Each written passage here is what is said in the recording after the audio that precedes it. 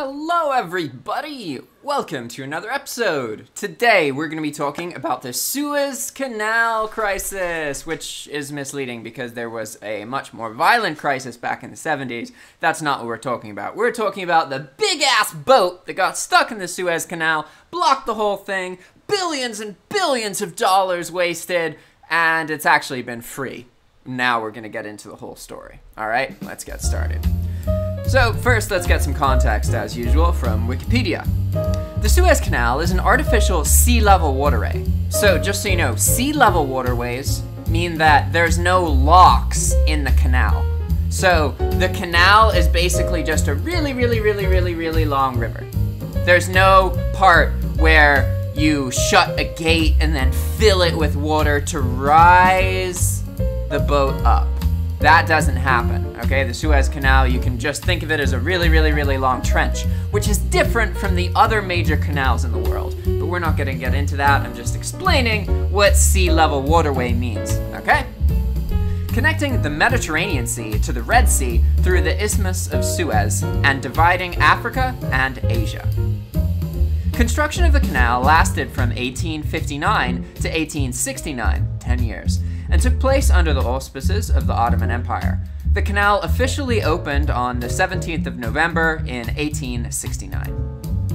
Avoiding the South Atlantic and Southern Indian Oceans reduces the journey distance from the Arabian Sea to London by approximately 8,900 kilometers, 5,500 miles, or 8 days at 24 knots to 10 days at 20 knots. So you're talking about a 40 day journey going down to 30 days thanks to the canal. That's a 25% decrease in fuel, which is the biggest expense for these giant shipping companies.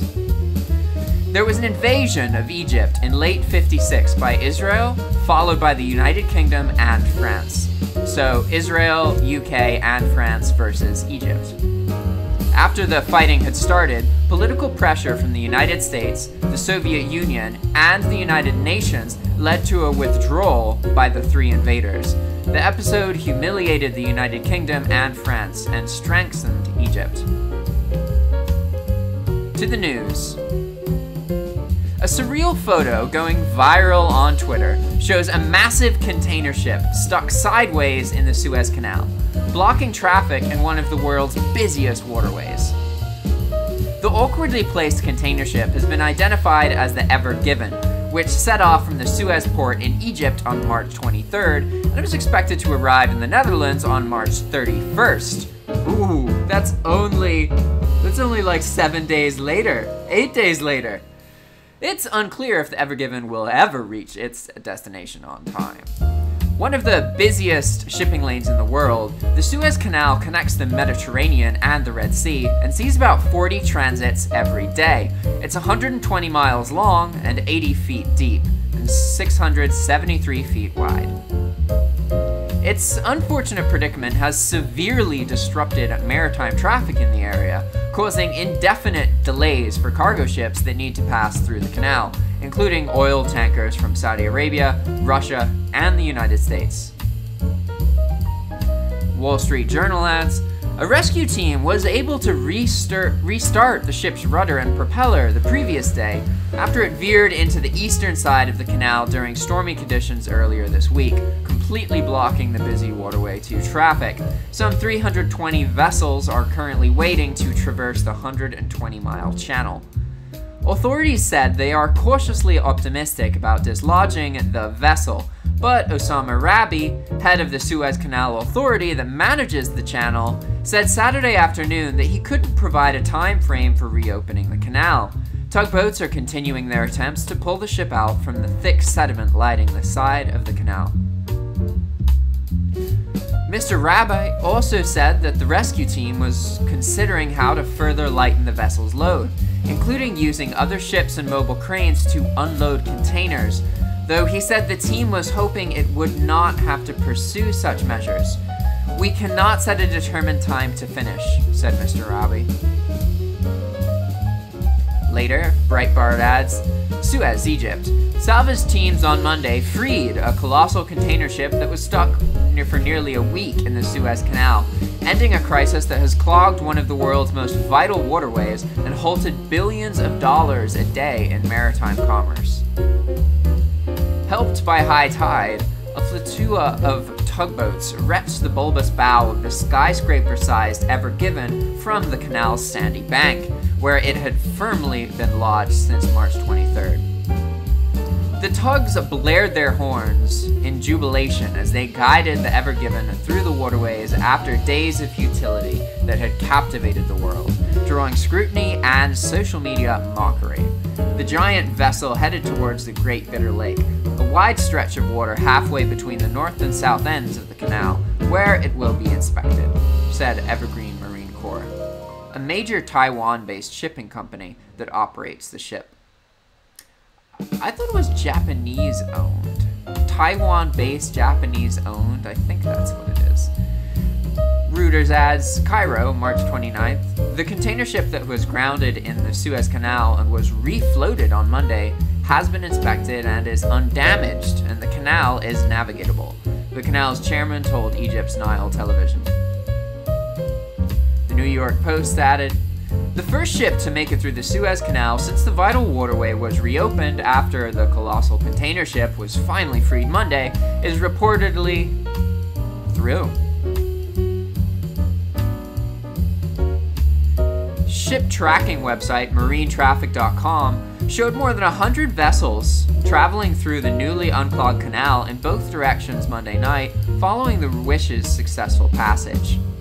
A senior canal pilot told the Associated Press, on condition of anonymity, that experts were looking for signs of damage and trying to determine the cause of the vessel's grounding. When blame gets assigned, it could turn into years of legal wranglings over the costs of repairing the ship, fixing the canal, and reimbursing those who saw their cargo shipments disrupted. And with the ship being owned by a Japanese company, operated by a Taiwanese shipper, flagged in Panama, and being stuck in Egypt, the mishap turned into an international mess. Vice adds As of Monday, midday, 193 vessels were stuck at Port Said in the north of Egypt, and 201 were anchored in the southern seaport city of the Suez. There were an additional 43 ships waiting inside the Great Bitter Lake. Last week, some had predicted that it could take weeks for the Ever Given, which is one of the largest container ships in the world, to be freed. Some shipping companies made the calculus that it would ultimately be more cost effective to reroute their vessels around the Cape of Good Hope in Africa. The largest shipping company in the world, Denmark based Maersk, said on Monday that it had already rerouted 15 of its vessels towards the southern tip of Africa and is currently recalculating whether it should turn those ships back towards their original route through the Suez Canal. Another fear about the blockage centered on energy concerns. The longer the Ever Given remained stuck, the worse of an effect it would have on global energy markets. There were fears that not only the oil trade between Europe and Asia would be affected, but also Brent crude oil dropped more than 1% immediately after the vessel was set free. Among the hundreds of ships stuck in the Suez Canal, some 200 or 20 vessels holding tens of thousands of animals. Animal advocacy groups have been worried that food rations aboard the ships could be running low as the days spent anchoring wear on. Romania has 11 of those ships, containing 105,000 sheep and 1,600 cattle, according to Romania's veterinary watchdog, which added that the steps have been taken to prioritize the vessels. The watchdog also said that Egypt has been provided supplemental food and water for. Uh, Egypt has been providing supplemental food and water for the animals. Now, let's see what people are saying. Lost Woods in the Fields adds For it to take the crown of the worst Suez Canal traffic jam, I would question this. I'm guessing there is more traffic now and the value of the goods going is greater, considering the ship is blocking can hold 15,000 containers on its own. So I wonder what one week of blocking in 2020 equals to 1970s blocking.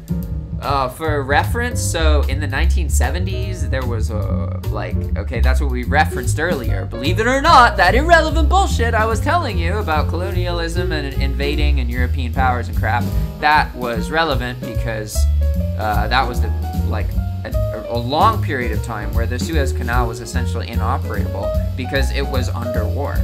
Uh, basically, foreign powers were trying to take the Suez Canal but the Suez Canal was in Egypt. So, right, I don't need to elaborate too much more on that. And it actually, Egypt got it. And that kind of, for a lot of historians, that era kind of marks a turning point where colonial colonialism is truly like dying and shifted. So very powerful companies like the, or very powerful countries like the United States are still able to be colonialist simply because they are like they have the most resources. And there's not another entity really to check them. Whereas almost all the other nations it's not you can't be blatantly colonialist anymore. You can't go invade a land. You have to you have to economically invade and subjugate it, basically, which is what they do. They they're not good. I'm not saying that oh colonialism is just dead. The concepts by and by just shifted. And a lot of the people in power are still minorities, and they still believe that if we don't suppress these other people, these other countries, that the world's gonna go to shit. But, yeah, that's debatable. Anyway, moving on, right? Hacking Dreams adds, if you wanted to do a lot of damage to Europe, for sure, block the Suez Canal. If you wanted to damage the Americas, you blow up the locks at Panama and let Gatun drain lake, or lake drain out into the ocean. Plenty of fiction has been written about both. You would basically need to be a Bond villain to even want to try it. Useful Woodpecker adds, it already happened once in the 60s during the war between Egypt and Israel. And more. Wasn't just Egypt and Israel. The canal was blocked for eight years and 15 ships were trapped in it. When it was over, only two of those 15 ships survived. All other ships, in order to continue, had to travel around Africa. The cost of virtually everything went up. Hacking Dreams adds, Can someone explain why does it take this long to rescue the cargo ship? Inertia. Ship got wedged in thousands upon thousands of pounds of sand and mud. They now have to dig enough of that out on the way to let the ship go back to floating. Ship weighs a lot. Even with a fleet of tugboats, there's only so much they can do without making things worse. According to Evergreen, they've already dredged 20,000 tons of material and have cleared the ship's stern and found no damage to the rudder, rudder or propeller, so they're free to use the ship's own power to bring it back underway at their next refloat attempt woods in the field that livestock and foods such as fruits, etc., are probably completely lost, at least in viability for the import companies. The insurance payouts for this are going to be in the billions. I wonder if any import companies are trying to sell off their containers for dirt cheap, if that's even an option.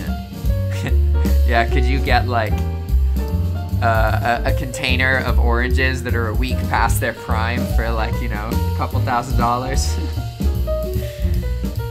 Probably just the container's price at that point. Kmart, Kmart Shopper adds, I think the scale of the problem really precludes any real accountability. I can't imagine any shipping corporation could even start to pay for even a fraction of the costs incurred by something like this going under. That's not to say one will not try to, but even 1% of the costs incurred by the accident could be an astronomically large number. Ship posts over 9,000 ads. A lot of the numbers being thrown around on this are somewhat misleading as far as a price. The actual impact is closer to the difference of going through the canal versus the next cheapest route, or choosing a vendor shipping through the canal versus the next cheapest vendor that doesn't. The figures being quoted in most of the news articles are using the total value of goods, not the differential costs. Some perishable goods will undoubtedly be lost, and some shipments will undoubtedly be cancelled, so there is some cost there, but it is nowhere near as high as some of the figures being quoted are by the press. Depending on if the inquiry labels this as negligence or accidental, the operator will pay wildly different amounts. But it is unlikely, even if it was shown to be negligence, that they would end up covering that much, if any, of the cost the other ships, and even if they did, it would be more asking the lines of a percentage of the shipping costs, not the total market price value of the cargo in most cases. It's also important to understand that it's not so much that, okay, the Suez Canal is the only way in the world to get there. It's just the shortest way, and usually there's not a problem. So most of these companies had planned for that. They can they can actually sail around Africa. And that sounds like a lot, and it is, but again, it, it adds like a quarter to the journey or a third. So you're talking about the cost of the what they charge going up by like 30 or uh, 30% or a quarter, like 25%. And that that's something that would be mitigated more than that. It wouldn't literally go up that much because these companies, when they can plan for something and they know what their options are, uh, things kind of balance out and reflect to accommodate that. The problem with this main way being blocked is it's not like, okay, if this is blocked, there's not just an easy bypass. You have to literally go around an entire continent, or you could just wait. And that is an uncertainty that really wrecked them financially because they can't plan for that once it's happening. Now they can, of course. Of course, every single one of these companies now is like, okay, going through a canal is a risk, it's a liability.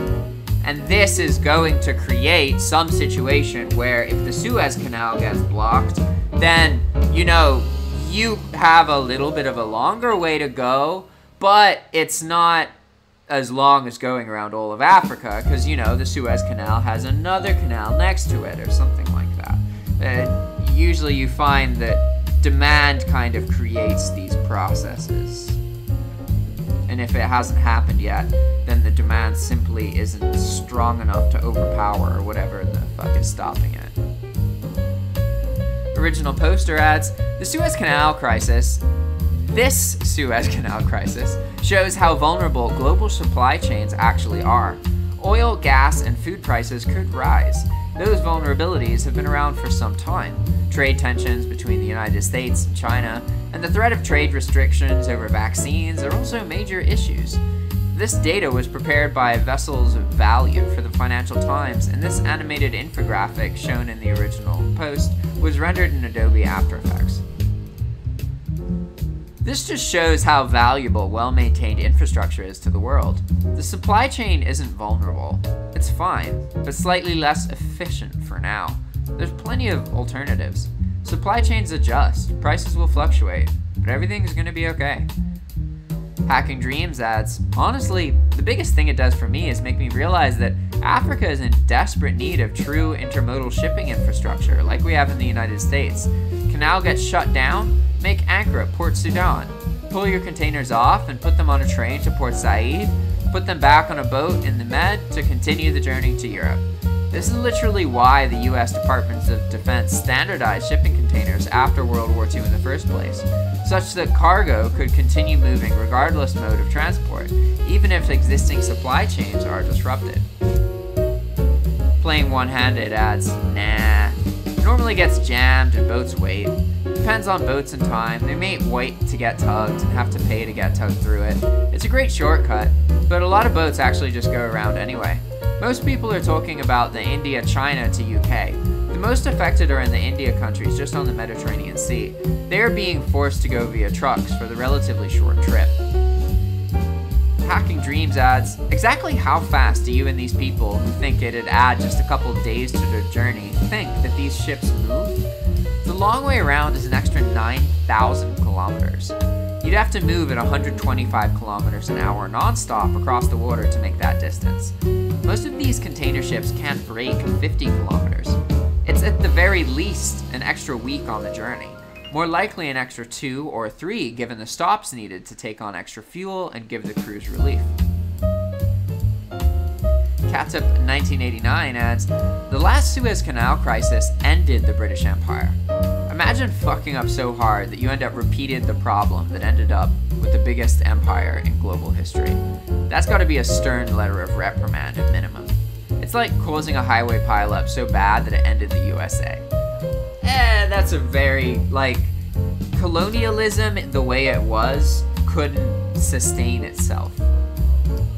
The, the Suez Canal crisis isn't the only thing that ended the British Empire. Like, basically, as technology advanced and humans became able to be aware of freedom in other countries and communicate and access information, that sheer force alone ended the reality of people being able to be colonialized.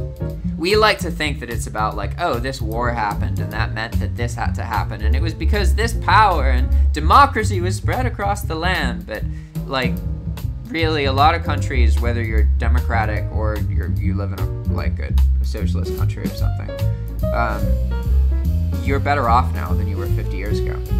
Te- technology evolving and humans' access to other humans in other parts of the world has made it such that we benefit so much from each other now in a way that we never used to. A person in Latin America in the 1500s, and a person in Europe in the 1500s, and a person in China in the 1500s had almost zero probability of ever even witnessing the other person for a moment, not even seeing an image of them, hearing nothing about their culture, maybe hearing some judgment about people, but a lot of times they literally didn't even know that person existed.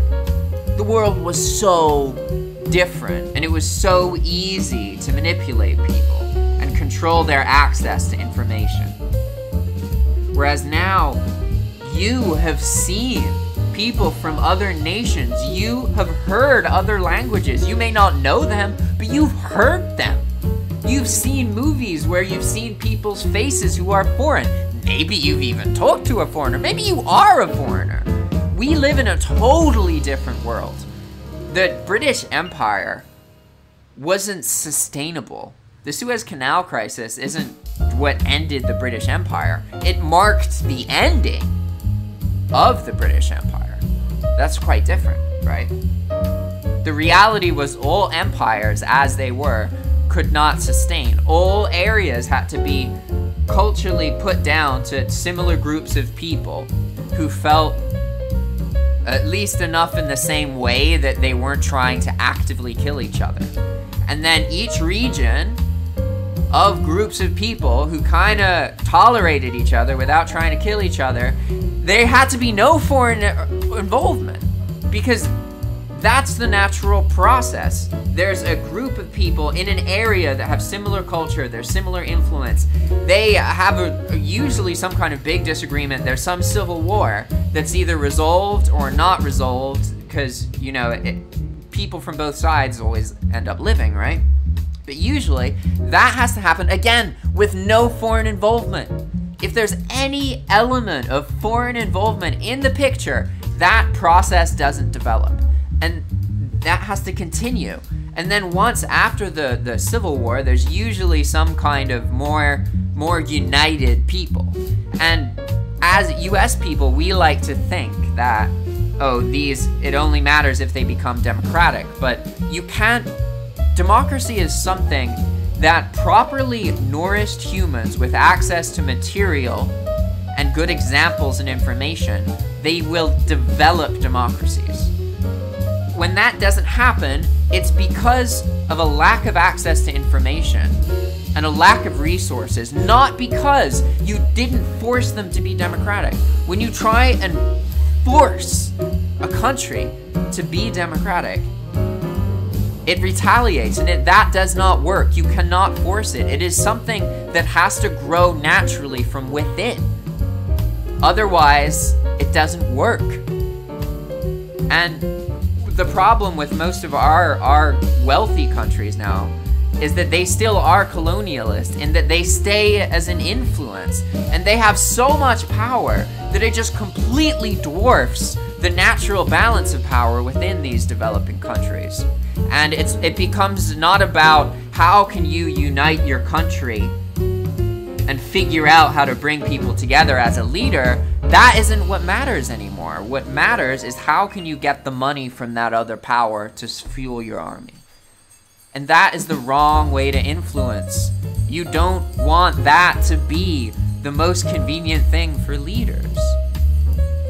You want them to be the convenient thing for a leader should always be to bring their people together and develop a very large following that represents the majority of their country. That should be the most useful thing for them. It should be what is convenient for them. And if it's not, we have issues we gotta work on, right? All right, everybody, that's it for now. Thanks for watching. If you like this kind of content, please do one of the four following. Like this video, subscribe to this channel, check out another video, or comment below. As always, thanks for watching, and we'll see you next time. Ciao!